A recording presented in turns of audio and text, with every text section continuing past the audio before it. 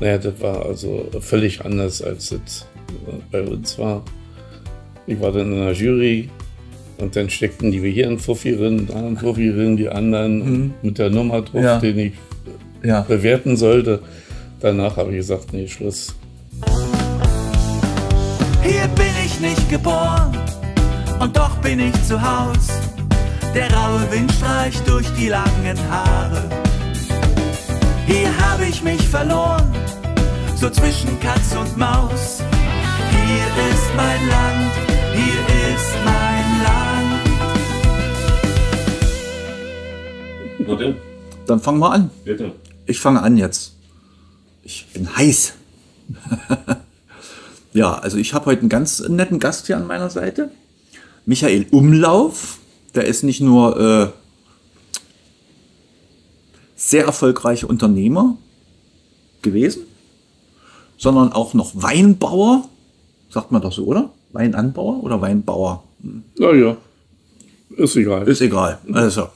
Und hat sogar einen Wein mitgebracht von seinem eigenen Wein. Das ist ein Lustwein, weil er nämlich einfach Lust hatte, Wein zu machen, nehme ich an. Ist es so? Ja, Oder? Genau so. Ja, hat nicht mit dir Nee, irgendwelchen ich habe da so eine anzüglichen. Fläche gekriegt und gedacht, das lohnt sich. ja. Und wie viel, wie viel, wie viel, äh, 300 Reben. 300 Reben. Wie hängen da eigentlich so Trauben dran in so ein Ding? Na, wie viel Trauben kann man nicht sagen? Man sagt pro Rebe wenigstens ein Kilo. Ah ja. Und da ist das viel Arbeit eigentlich? Na, äh, er muss, im, also der Wein macht eigentlich nicht so viel Arbeit. Nee? Er, naja, er muss im Frühjahr richtig geschnitten werden. Ja. Mhm. Das ist das Wichtigste, eigentlich das Allerwichtigste, dass dann auch was rauskommt. Mhm. Und äh, dann muss zwischen den Reben einmal im Monat gemäht werden. Ich mit dem Trecker lang. Mhm. Ja. Also das ist auch nicht schlimm. Ja. Also mit so einem kleinen, so einem Ja. Rasentrecker. Ja, und dann hat man eigentlich nicht viel zu tun. Dann Ah, ja. muss ab und zu noch mal angebunden werden, wenn die zu sehr runterhängen. Und die Blätter abgemacht werden vielleicht? Nee, nee. Nee. Die müssen nicht Das bleibt, also macht man alles, äh, bevor er treibt. Ah ja. Äh, in der Mitte steht der Stamm, Mhm. rechts und links gehen ein Ast raus. An jedem Ast sind vier äh, Ösen, also vier Reben, die Mhm. Ja. da rauskommen. Ah ja. Und die wachsen dann und die kriegen dann so, da muss man die auch ein bisschen so zwischen, den, quasi. zwischen den Drähten äh, langziehen und mit, mit ähm, Anbinden hier, Ja. mit, mit Folien. Ah ja. Und es ist ja, aber wir sind ja hier in Brandenburg, recht hochgelegen, wo immer alle sagen, naja, da die richtig guten Weine sind im Süden. Aber das kann man jetzt auch nicht so sagen, ne? Ist nicht mehr so. Nee, weil es so warm geworden ist Also, oder was? äh, das liegt gar nicht so daran. Die haben ja in Rattay auch schon Wein vor dem Krieg gehabt. Ja. Naja. Ne? Bloß, dass Und, sie das dann nicht so intensiviert haben. und Rattay ist, äh, liegt bei Prenzlau, ja, zwischen Woldeck und Prenzlau. ja. Welches Glas möchtest du? Ist egal. Ja. Ja. Dann Prost. Schön, dass du Zum da Wohl. bist. Ja, Ja. gerne.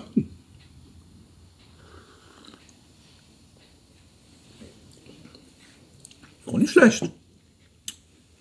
Schön fruchtig, wa? Ja. Wann ist der von? 22. Von 22 ist der. Ach so.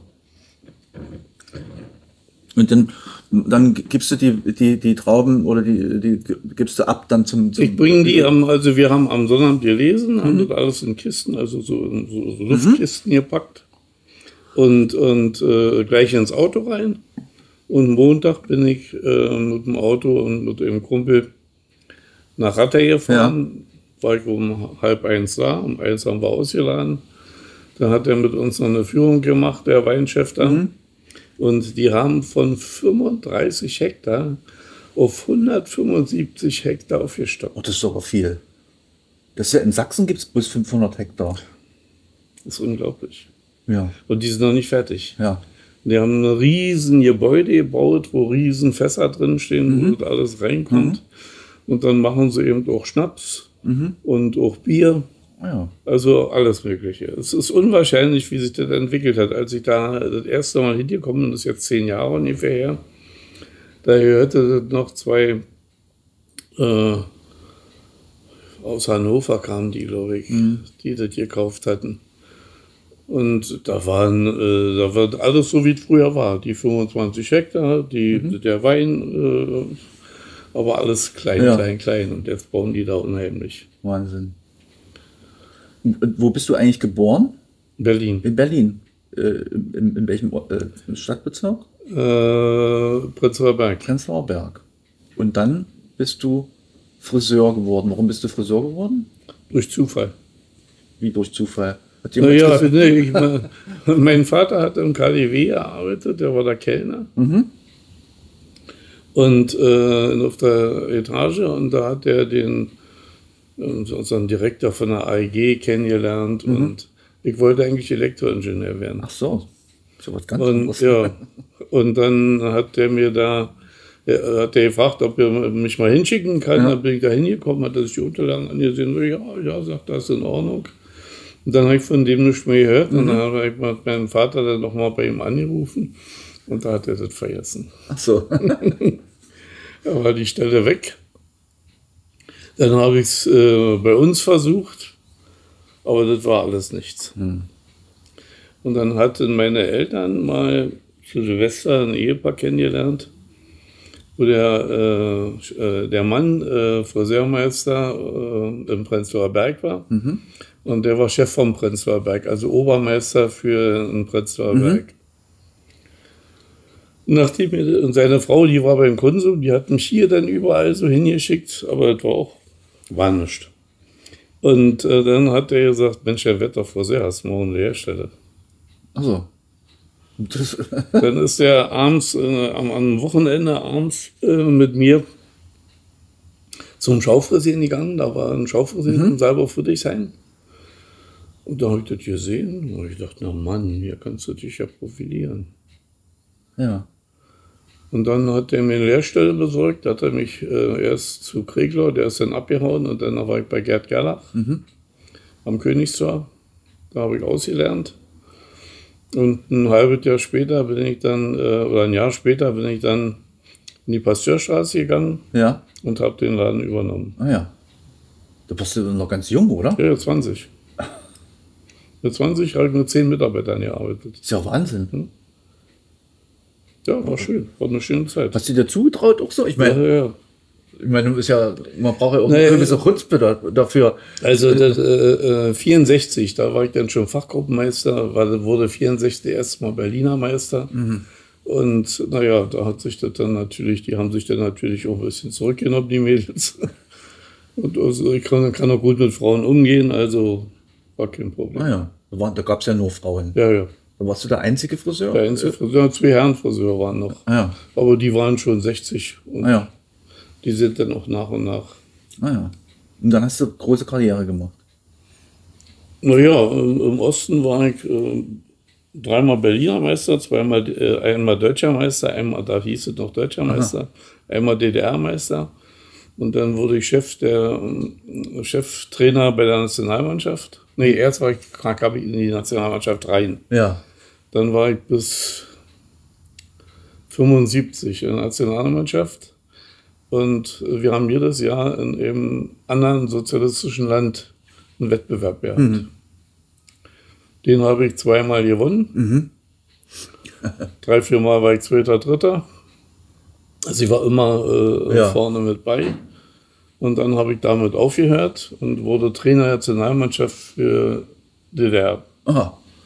Und dann habe ich die fünf Leute, die da drin waren, mit einem Team zusammen trainiert für diese Meisterschaften. Und was trainiert man da alles? Also, naja, Haare schneiden, das habe ich mir schon fast gedacht. also äh, eine, eine, eine kurze Frisur, Ja. die meistens mit Schnitt war, Ja. dann eine Abendfrisur und dann eine Kunstfrisur mit Haarteilen und Ersatzteilen, also die so sehr Ja. gewaltig Ah waren. ja. So mit Blumen drin und so. Ja, alles mögliche. Oder irgend so was. Alles, alles Mögliche.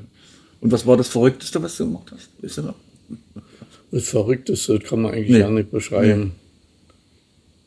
Gibt's nicht. Nee.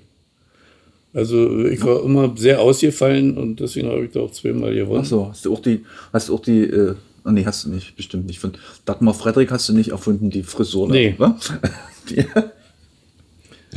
Also ich kann mich nicht mehr erinnern, Nee. wie die Frisur war. Ich habe viele Tagesfrisuren, also so Modefrisuren. Mhm. Kam dann, der nächste Punkt war dann Nationalmannschaft. Mhm. Und das war ab 75 und ab 79 kam ich in Entwicklungskollektiv für Frisurenmode. Ach so, Das gab's. In ach so. Entwicklungskollektiv. Ja. Und ich war so- da der eins, also da waren nur ein, zwei Private. Alles andere war PGH. Mhm. Und äh, von den PGH war immer einer Chef. Mhm.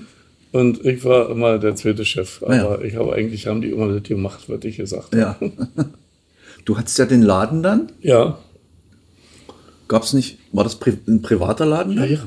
Und gab es da bei den Friseuren nicht diese, äh, Anfang der 70er haben sie doch diese ganzen Pri äh, Entprivatisierungen gemacht Nee, damals nee, nee, sowas? nee, die die ganzen Bäckermeister zugemacht oder die Ja, nee, nee, haben sie, so? haben sie äh, nicht gemacht bei den Friseuren. Nee. Es gab ja jede Menge, in jedem Stadtbezirk, ihr habt wenigstens eine GmbH. Ja, und äh, nicht GmbH, PGH. PGH. PGH. Und, und äh, oh ja, die kannte ich alle, die Chefs. Mich haben sie in Ruhe gelassen, ah ja. Weil ich eben auch so hoch angebunden war. Ja. Und dann habt, konntet ihr dann auch in den Westen fahren? So? Nee. nee. Das durftest du nicht als äh, Nicht. Nationalmannschaft. Nein, nein. Die sind einmal nach Kuba geflogen Ja. und da durfte ich nicht mit, weil die in Kanada zwischengelandet sind. Haben sie mich nicht mitgelassen. Ach so, Da hatten sie Schiss, ich bleib drüben. ach so. Aber hätte ich nie gemacht. Ja, Mir ging's gut. ja. Ich konnte mich nicht beklagen. Und wann bist du dann hier äh, nach Marienthal gezogen? Ich hatte zuerst äh, mir ein Wochenendhaus an der Havel in Oranienburg gekauft. Das war 68. Und da kam dann, äh, da war erst rings riesengroße Heidefläche und alles frei. Und dann haben die da angefangen zu bauen. Ah, ja. Und das kam immer dichter und habe gedacht, hier musst du weg. Und dann hatte ich da äh, Freunde, das war so ein Stützpunkt von der GSC, die hatten da auf so einer Insel so ein Lager und Boote und alles Mögliche. Und äh, die Frau war beim Finanzamt in Oranienburg und die kannte Gott und die Welt und die hat mir diese Grundstücke Ah, ja. besorgt. Beziehung eben, Ja. ne? War ja alles über Beziehung Dann, ja, damals. dann sind wir mit dem Boot hier das erste Mal vorbeigefahren und habe gedacht, na also, das musst du haben. Mhm. Dann habe ich gekämpft, drei Monate. Mhm. Und nach drei Monaten hat er dann gesagt, ja, ist okay, du. Ah, schön. Und seitdem bist du hier. Ja. Gab es eigentlich, äh, ich kann mich erinnern, meine Mutter hat dann immer, die war dann immer ganz glücklich, wenn sie, die war nämlich auch, hat mal beim Friseur gearbeitet, Mhm. als, äh, also nicht als Friseuse, sondern so als Haarwäscherin, Ja. also so als Ja. Zuarbeiterin Ja, oder irgend so was. Ja, so gab es ja Hilfskräfte. Hilfskräfte, ja. Ja. Hm? Und dann hat sie immer, die war immer ganz glücklich, wenn sie mal ein Haarspray aus dem Westen gekriegt hatte oder sowas. Habt ihr auch so äh, Zeug gekriegt im, äh, im, bei euch für die Friseurläden oder irgend sowas? Nee. Nee. Ich war außerdem noch im Vorstand der Einkaufs- und Liefergenossenschaft. Mhm. Und alles, was knapp war, habe ich gekriegt. Ach so. Du warst quasi immer überall dort, wo es was gab. Ja, Und konntest dann auch, äh, ich meine, du, du hast, ja, es gab ja, weil DDR war ja so geben und nehmen. Ja. So, und du, da warst du ganz vorne dran. natürlich. Bei mir haben je, also ab, ab äh, sagen wir mal so ab 82, 81, 82, haben bei mir jeden Morgen 100, 150 Mädchen vor der Tür gestanden, wollten zu mir. Weil du so bist. Weil wir ohne Anmeldung gearbeitet haben, weil das mit Anmeldung ja nicht ging. Und, und, und habt ihr, was habt ihr da für Schnitte gemacht? Schon diese alles, Pump-Dinger alles, und all- ja, alles, was es gibt. Haarteile, Perücken, Haarschnitte, die verrücktesten, was also so gerade international aktuell war. Das ist ja Wahnsinn. Ja, dann haben wir 40 reingelassen und der Rest musste wieder gehen. Ach so. und die haben dann gewartet den ganzen Tag oder was? Nee, die haben bis, bis Mittag hatten wir die raus. Ach ja. Dann habt ihr zugemacht. Nee. Mit zehn Mann? Nee, nee, dann weiter, ja. Dann kam die nächste Runde. Naja, Wir Wahnsinn. haben drei Runden gemacht. Naja. Und dann hast du aber nur das eine Geschäft gehabt in der DDR die ganze Zeit? Gab, mehr gab es am Osten nicht. Ach so. Ein Laden, zehn Mann. Ja. Nicht ein mehr. Ach so. und war Grenze. Ah ja. Und als die Wende kam, hast du gesagt, jetzt. Äh, Ja, als die Wende kam, bin ich mit der, äh, mit der Nationalmannschaft zur Weltmeisterschaft nach Amsterdam gefahren. Und äh, naja, das war also völlig anders, als das äh, bei uns war. Ich war dann in der Jury und dann steckten die wir hier einen Fuffi drin, da einen Fuffi drin, die anderen mit der Nummer drauf, Ja. den ich ja, bewerten sollte.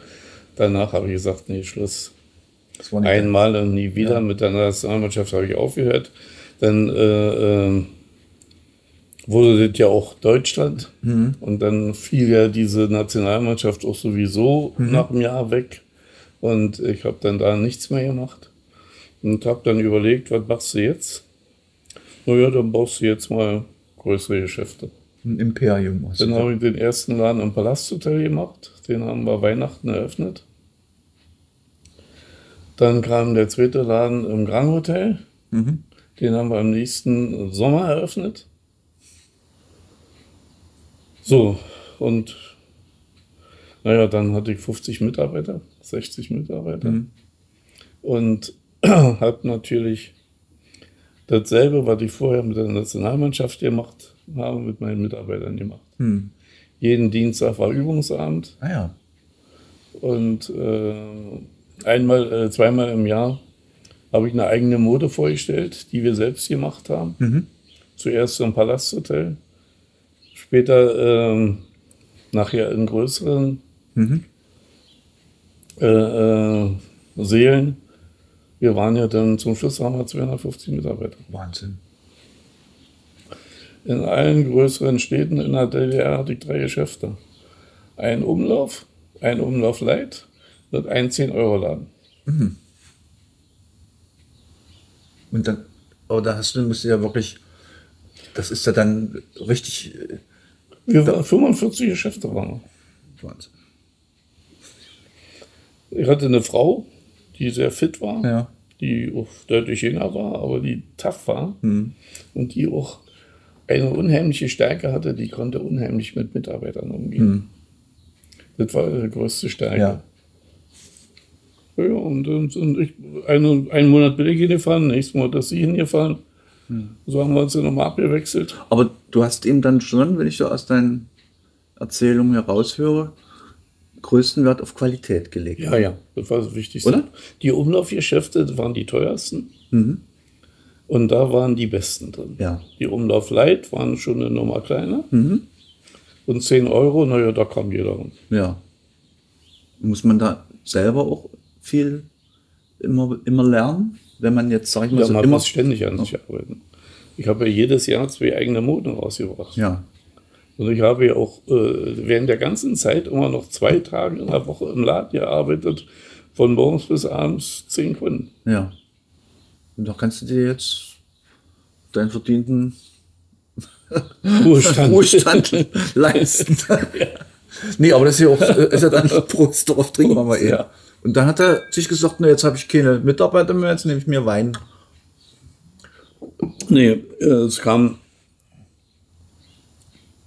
dann, ich habe äh, immer mit äh, zehn Geschäften eine GmbH gemacht Ja. und immer mit einem aus diesen Salons einen Geschäftsführer mit bei. Und die habe ich dann langsam aber sicher abgegeben Ja. und äh, habe mich von meiner Frau getrennt. Das war der Hauptgrund, weil alleine war das ja nicht zu machen. Und dann hast du gesagt, Schluss. Ja, seitdem bin ich hier draußen. Nur ja. noch. Ja. Willst du was essen? Ja, klar. Ja, normal. Irgendwas? Ja. Brötchen vielleicht? Das sind auch von heute. Also Ja. ist nicht. Und da bist du Ich jetzt. hatte mir vorhin noch ein bisschen Bildmaterial eingesteckt. Ja? Soll ich das noch reinholen? Ach, ja, das, das können wir dann, das, äh, das können wir doch mitdrehen. Ja. Nach, das machen wir danach, weil das ist super. Das, hast du auch ein paar äh, Frisuren dabei? Ja, ja. Ja, herrlich. Ich bin da schon gespannt, wie das aussieht, wirklich, weil äh, du weißt, der Friseur ist bei mir nie so angesagt. Ich weiß gar nicht, wann ich das letzte Mal beim Friseur war. Ich hab immer Ich sagte meiner Frau, kannst du mal die Spitzen ein bisschen machen und dann ist gut. Die meisten können das nämlich, nämlich nicht mit den Spitzen Hm. bei den langen Haaren. Die schneiden dir so viel, Zu viel ab. die schneiden dir zu viel ab und oder machen es nass und schneiden dann die Spitzen. Eigentlich muss man es, also wir schneiden immer im Trocknen. Ist Ja, das ja. in Ordnung? Ja, klar. Na, ich frage hier den, den Meister hier, der es am besten weiß. Unglaublich. Früher wurde nur nass geschnitten. Ich kann dir die Bilder mal holen. Ja, Früher wurde nur nass geschnitten. Aber mit dem trockenen Schneiden, das ist jetzt bestimmt so seit zehn Jahren. ah ja.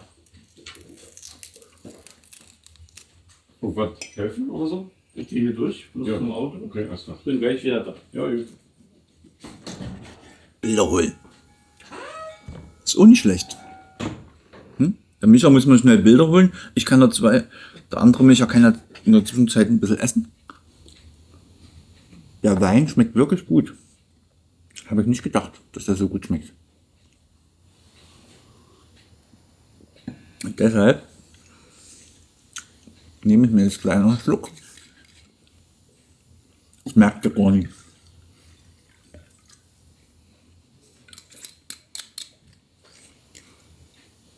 Es gab mal eine Sendung von Harald Schmidt.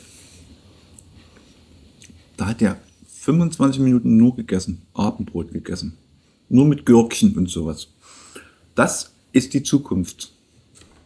Wir werden nur noch essen und gar kein Gespräch mehr führen. Und Gürkchen haben wir nämlich auch da. Darauf freue ich mich schon. Entspannt sitzen, essen. Das macht man viel zu wenig. Einfach nur in die Luft gucken und eine kleine Gurke essen. Herrlich.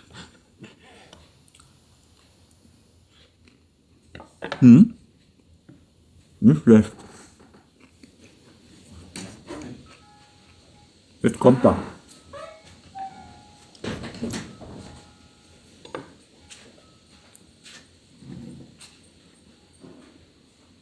Ich bin gespannt. Ja, ich habe bloß so ein paar rausgesucht. Naja. Ja, ist doch immer schön, gerade wenn man so eine Kunst, ist ja eigentlich auch eine Kunst. Ja. Ist ja nicht jetzt bloß, äh, wir schnippeln mal ein bisschen rum. Nee, nee, nee. nee. Sondern- ist schon ein bisschen mehr. Ja. So, fangen wir mal hiermit an. Das war ein Pokalfrisieren in Prag. Ach, in Prag. Poha Bratelstvi. Hier, Druschpi, Druschpi, Freundschaft, Freundschaftspokal. Ja. Da konnte man noch Russisch sprechen. Ah ja.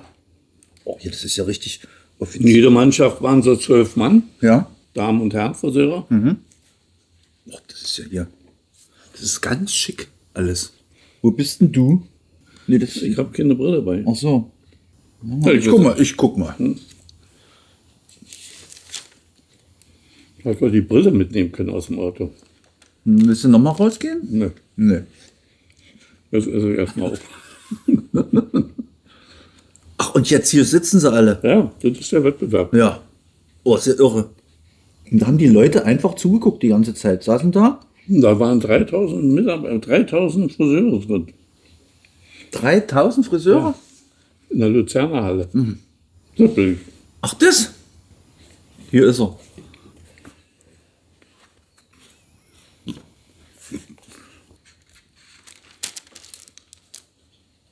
Ah, da waren sogar hier Koreaner dabei oder was? Nee.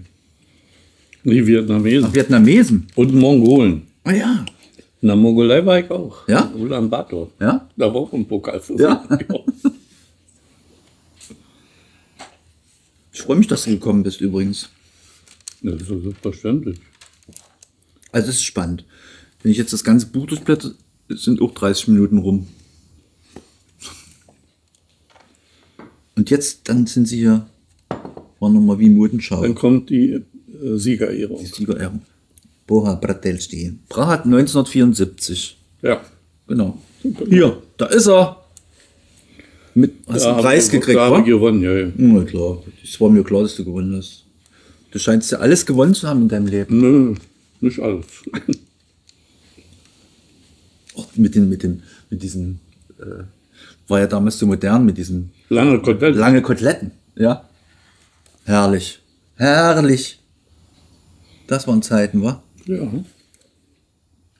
SSSR. Nee, die dürfen wir nicht zeigen. Und so war das in, in, jedem, in jedem der sieben Länder. Ja. Ja, ja. In, in mal im Jahr, mal im Herbst. So, habe ich hier mal noch ein paar Zeitungsartikel. Hier, pass auf, jetzt kommt's nämlich. Von den Berliner Frisuren, Friseuren, die nach den Warschauern einen dritten Platz einnehmen, hätte man freilich ein wenig mehr erwartet. Die junge Mannschaft bemühte sich zwar, ihr Bestes zu geben, doch es fehlt ihr noch an internationaler Erfahrung. Nur der neue Berliner Meister Michael Umlauf war ein ebenbürtiger Partner. Du bist ja von Erfolg zu Erfolg geritten. Wahnsinn. Ja, gebe ich dir mal wieder. Da lacht er verschmitzt in sich hinein, der Micha Umlauf. Die habe ich zweimal im Jahr neu rausgebracht. Ich habe es in jedem Salon, so ein Stapel zu liegen für die Kunden. Ah. Bitteschön. Kann ich mich dran erinnern, so, ja. Ich Ja? habe leider bloß äh, keine mehr, die ich hier lassen kann. Jetzt Nee, die, ist egal. Ich habe noch zehn Stück, das sind die letzten, aber immer auch von verschiedenen. Wir haben sie ja hier, wir haben sie hier zum Aufklappen. Weil es mir gut tut. Naja, hier haben wir noch ein paar ausgefallene Frisuren. Es kommt hier auch alles wieder, oder? Ja, ja. Jetzt haben sie wieder die, die Schlaghosen sind wieder da gewesen. Dann gab es wieder diese, Die weiten Hosen. ja, die weiten Hosen. Dann hatten sie wieder die Schulterpolster jetzt. Ja. Äh, äh, Das sind hier lauter. der Text dazu Ja, für die Kunden. Und das sind die Geschäfte, in denen es diese, Ja. die, diese gab. da konnte man sich das auswählen dann. Alles dabei. Cottbus Spreegalerie, Karl-Marx-Straße. Erfurt, Anger, Rostock. Ach, auf der Kröpi warst du auch? Ja. Herrlich. Toll. Du hast aber in dem Sinne einen ganz schönen Lebensleistungsvoll vollbracht. So, Lebensleistung. Ja, naja, das habe ich auch alles selber fotografiert. Ah ja. Die Fotos. Alles Ah, ja. selbst gemacht. Ja? Ne, da habe ich mir immer Mädels gesucht aus dem Laden. Das sind alles, die hier drin sind, sind alles Lehrlinge Mhm. Ja. Mhm. oder Mitarbeiter. Dann habe ich die abends in, äh, bei mir im Laden da unten im Lehrlingskabinett, da hatte ich ein Fotostudio hinten drin. Haben wir uns dienstags da getroffen Mhm. und dann habe ich ein paar Frisuren gemacht, alles fotografiert Mhm. und nächste Woche nochmal. Bis dann Abel hier voll war. Ja. Also es darf nicht langweilig werden. Nee, nee. Nee. Bei mir auch so. Deswegen sitze ich ja hier jeden Tag, äh, jeden Freitag, jeden Tag sag ich schon. jeden Freitag 18 Uhr mit jemand anderem am Tisch. Und ich freue mich, dass du heute da warst. Wolltest du noch irgendwas sagen, was Wichtiges? Nö. Nö. Das habe ich mir schon fast gedacht. Aber der Wein ist wirklich gut. Der hatte irgend so einen, Hat einen schönen Nachgeschmack. hat so einen Nachgeschmack. Hm? Wo kommt das her? Das ist die Traube. Hat Also das Phoenix und Solaris sind beides Reben, die speziell für Schweden und Norwegen gezüchtet Ah wurden. ja. Ach so, deshalb, wegen, auch wegen der Ja. Witterungsverhältnisse. Mhm. Der Wein, der braucht hier auch nicht so viel von, den muss man dann auch nicht gießen, ne? oder? Oder doch? Äh, naja, in der ersten Zeit schon. Bedeutet in den ersten Jahren dann wahrscheinlich. Ja, äh, der, der geht ja äh, bis ins Grundwasser. Ne? Ja. Die Wurzeln werden 27 Meter tief, Oh. äh, durchschnittlich. Aber Ja. bei uns ist ja bei 8 Meter schon Ton. Ja. Und da steht ja schon das Wasser. Deshalb ist es gar nicht so schlecht, wenn man hier Wein anbaut. Richtig. Geht schneller. In diesem Sinne, bauen Sie Wein an. Das ist die Zukunft. Also in Rattay haben sie mir Reben gezeigt, jetzt äh, vorgestern, als wir da waren, die zwei Jahre alt waren Mhm. und wo schon solche Trauben dran hingen. Echt, ja? Das habe ich nie geschafft. Meine haben sie erst mal nach drei Jahren. Also so Ach, wie lange getragen. machst du das jetzt eigentlich schon? Nach zehn Jahren. Zehn Jahre. Mhm. Und der Wein wird immer besser. Oder kann man das nicht Das so sagen? Frühjahr war auch schlecht, weil keiner dran war. Alles abgefressen. Mhm. Und wir machen jetzt seit vier Jahren Netze. Richtig einspannen, Mhm. oben zu, unten zu. Unten habe ich sie vor drei Jahren nicht zugemacht. Ja. Da waren so. dann, da gehen dann die äh, Waschbären. Maler und so weiter Ach so. und, und Waschbären rein. Also. Und die Vögel fliegen von unten rein, also es ist unwahrscheinlich. Ja. Und jetzt machen wir, also dieses Jahr haben wir erstmal komplett zugemacht, aber eben 14 Tage zu spät. Ah ja. Und Wespen kommen da bestimmt auch, ne? Ja, klar, Wespen kommen auch, aber, äh, Aber das ist nicht so. aber die Wespen sind noch nicht, äh, äh, Mitte August waren die Nee. noch nicht so schlimm. Die Waschbären fressen alles. Weil die zu klug sind. da kannst du wahrscheinlich piepeln die sogar den Knoten auf unten. So klug wie die sind. In diesem Sinne, ich bedanke mich, Gerne, das dass du da warst. habe ich gerne gemacht. Äh, ein Riesenunternehmen gehabt. Also ich meine, Friseur. Für mich hat es jetzt nicht so viel von der Frisur her gebracht, aber gut vom Gespräch war es allemal. Schön. Danke. Ein Lächeln zieht vom Kopf in meine Beine. Hier ist mein Land, hier ist mein